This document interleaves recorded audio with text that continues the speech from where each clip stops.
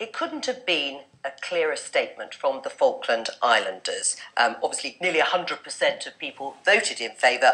Argentina should sit up, take note, and back off. Well, it's a bit like the residents of Nether Wallop voting nearly unanimously.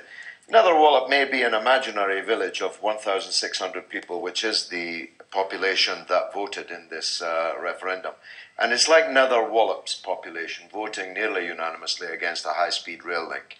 It's interesting, but it cannot be allowed to trump the whole country's national, economic, and geopolitical. So their voice doesn't count, and it Well, should be it's- ignored. It's uh, interesting, but it cannot uh, be a veto because, by definition, if this is a British overseas territory, the sovereignty lies with us, not with them. You can have an Antarctic ice station declaring itself to be a country and having a veto over British policy towards the Antarctic.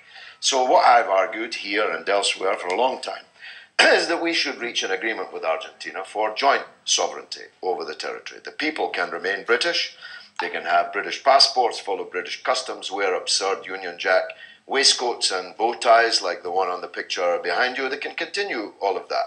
It's a Gilbert and Sullivan show, so far as I'm concerned. But the actual waters and land must be shared with Argentina, not least because if we don't, the day will come when we have no sovereignty at all. Because we cannot defend, for all the bluster of Hugo Swire, You don't we- think it's we're incapable? a bankrupt right. country. Let's just take the point, though. This idea of shared sovereignty. They can stay, the, uh, the Falkland Islanders, as British as they want, and they want to, but we have to be practical about sovereignty. This was the idea of leaseback, which is what the Foreign Office was running hard with before the Falklands War in 1982. A slightly different version in George's way he puts it. Um, George, I really don't think you should patronise them in this way. You wouldn't patronise the people in the Western Western Isles, Stornoway or Skye, for being few in number and having views. I remember when the war erupted, it struck me as if it was the equivalent of Stornoway being invaded by a military junta with s- pronounced fascistic tendencies. How could it be? Because Stornoway lies a few miles off our coast. I understand. Does that make the a difference? Falklands lies a few I'm just miles saying, off Argentina's George, coast you shouldn't and patron- tens of thousands of kilometres from our You, coast. you shouldn't So patronise what's the comparison with Stornoway? You, Let- insult let- let- Gilbert and Sullivan people. It's It not is worthy Gilbert of and you, Sullivan. George. It is It not is. worthy of you to patronise these people. It's a preposterous appendage of British colonialism. But that's it your- lies off the coast of Argentina, tens of thousands of kilometres from here. We're a small, almost bankrupt country off the west coast of Europe. The idea that we are going to war and going to uh, uh, allow our uh, relationships with the whole of Latin America not to be subject to veto of 1600 we're not Right, George Galloway, Just let's show some respect, to use your own word, to those people. That's all I ask. Who is now, this, what, by the way? I don't what know who is, this is. what is We've met before. Peter Hennessy, George Galloway, All right, Jo Coburn. Now, glad, uh, we- Peter Hennessy, let's let's let's get back to the practicalities of this because,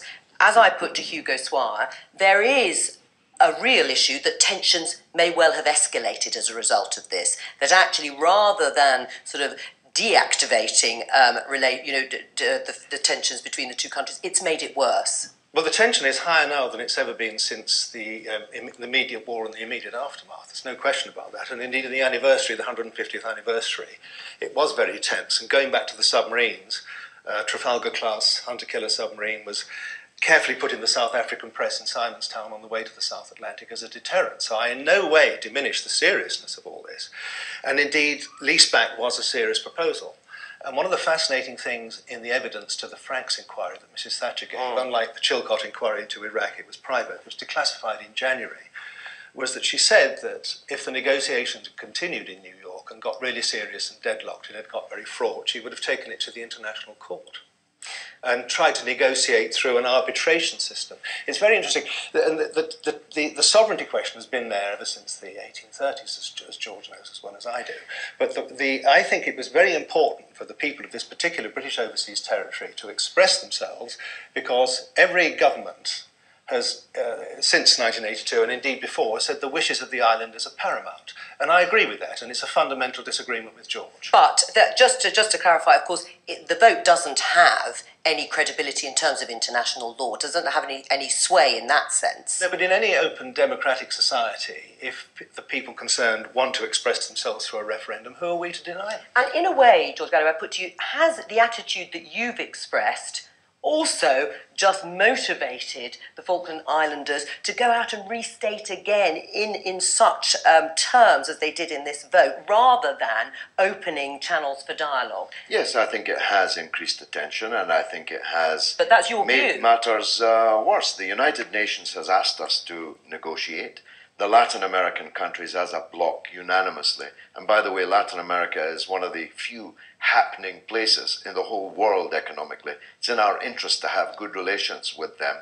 Uh, have uh, but have what's the blocked with? Argentina. But what's the connection, apart from geographical, which I grant you is, is obviously a fairly strong point in favour, what else is there connecting the Falkland Islands to Argentina? You look at those pictures, there's nothing connecting. No, that's them. the people, not the territory. Well, but the people are the important. Uh, well, they are, but we're talking about a British territory. So what matters above all is what's in Britain's interest, not the interest of 1,600 people. It's the point I'm trying to make. You wouldn't allow the high-speed rail link to be stopped by a near unanimous vote of a small village in England through which it was going to pass, because you'd say our bigger national interest lies in building the railway.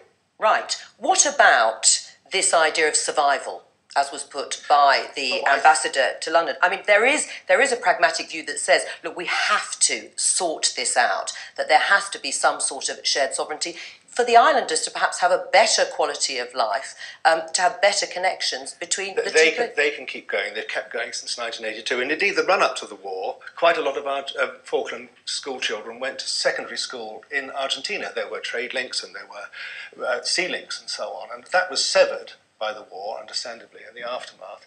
But those islands can be kept going. There's no question about it. What about George Galloway's point that actually going to war just isn't really a not going to go possibility? No, but there it, it is always a possibility, isn't it? Is it actually out of the question I in think, terms it, I think it is, uh, in terms of the uh, deterrent capacity of the aircraft on the island and the presence of the hunter killer submarine when it's needed down there. That is enough to prevent a rerun of 1982. George Galloway, Well, thank uh, you. No, I'm afraid I'm going to have to stop what a it great there. pity. Yes, what a great pity. But there you go. All great things have to end sometime.